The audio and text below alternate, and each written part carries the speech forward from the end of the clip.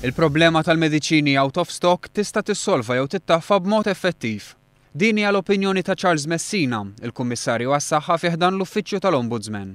Messina ilu f'din il-kariga għal din l-aħħar sena, u waħda mill-ħidmiet ewlenin tiegħu kienet proprju li jagħmel evalwazzjoni tal-problema tal-mediċini out of stock u kif din tista' titranġa. Jiena l-iskop huwa li nġibuha jekk mhux żero qrib iż-żero kemm jista' jkun.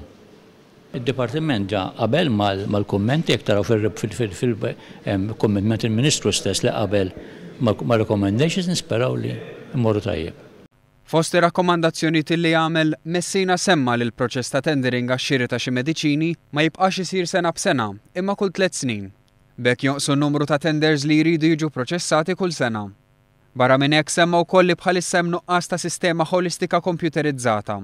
Ladarba din is-sistema tkun implimentata, għandha tħaffef il-monitoraġġ tal-mediċini disponibbli u għalhekk tgħin sabiex il-mediċini jinxtraw qabel l-ammont jinżel taħt ċertu livelli. Ir-rakkomandazzjonijiet tal-Kummissarju għas-Saħħa ntlaqgħu mill-Ministru tas-Saħħa Godfrey Farrugia.